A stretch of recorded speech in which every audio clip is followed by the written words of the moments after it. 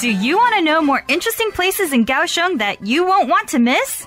打狗英语通带您用英文畅游高雄，成为高雄在地通。 Daco English Classroom is on air.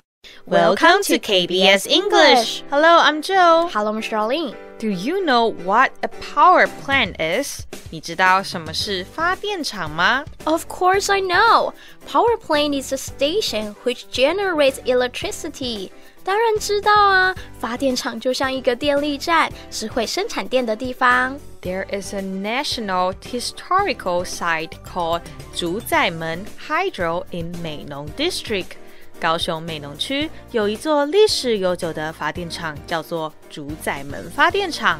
It is also an important hydro plant which supported Taco Port construction. 它也是提供给打狗主港设施电力的重要发电厂呢。高雄有一个被列为台湾第一座产业古迹的发电厂耶，你知道在哪里吗？我知道这个发电厂位于美浓区的主宰门，它把老农溪引入发电厂，再利用其水源当做动力发电。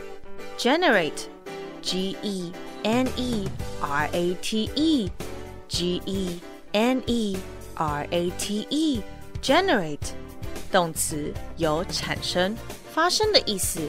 例如，The wind farm can generate enough electricity for 2,000 homes。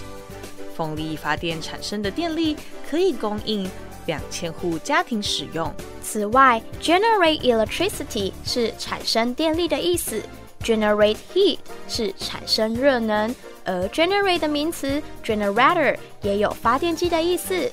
听说从日治时期就有主宰们发电厂嘞，距今已经一百多年了，而且在两千零三年时还被政府定为国家古迹，真是太厉害了。历史悠久的英文是 historical，H I S T O R I C A L，H I S T O R I C A L，historical 形容词。例如，You can find plenty of historical artwork in the British Museum。你可以在大英博物馆看到许多历史悠久的艺术作品。而 historical 这个单字和过去有纪念价值的物品、研究或东西都可以一起使用。 例如，历史文献就是 historical document，而 historical monument 是纪念塔或是古迹的意思。主宰们发电厂还为早期打狗主港时提供电力，也算是为南台湾的发电史奠定基础呢。建设设施的英文是 construction，c o n s t r u c t i o n，c o n s t r u c t i o n，construction 名词。例如，train station is a kind of public construction，火车站是一种公共建设。另外，若我们在国外的路上看到有告示写着 “under construction”，就是代表这个地方正在施工中。 Construction 的动词就是 construct，建造、组成的意思。例如 ，It took them two years to construct the building。他们花了两年的时间建造这座建筑。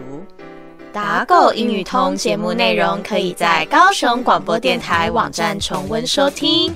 打狗英语通，我们下次见。本单元由高雄广播电台、国立高雄科技大学应用英语所合作直播，谢谢收听。 And don't miss out on our next lesson right here at Daco English Classroom. We'll see you then.